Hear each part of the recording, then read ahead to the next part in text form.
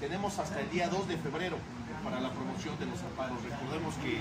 para proveer un, amparo en contra de una ley se tiene 30 días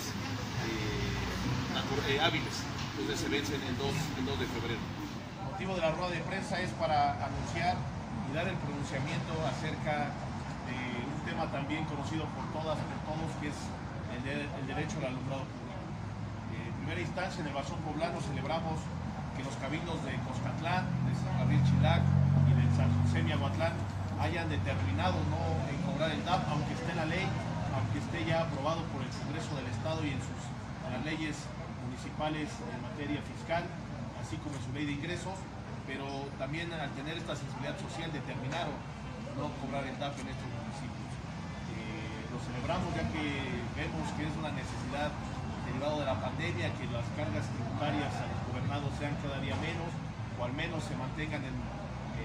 anterior a la pandemia, ya que la pérdida del poder adquisitivo es cada día más evidente. En este orden de ideas también hacemos un llamado a los actores eh, políticos que han utilizado este, este tema para acrecentar de manera hábil su capital político, ya que están llamando a movilizaciones, están llamando a la toma de presidencias municipales, pero sin ningún plan de acción. Lo hacen simple y sencillamente pues, con esta forma oportunista de querer acrecentar su capital. Es por eso que nosotros consideramos Somos integrantes del Consejo del Pueblo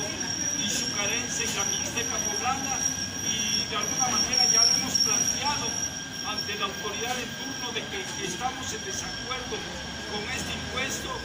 y pues más aún en los términos que lo plantea su ley de ingresos 2022.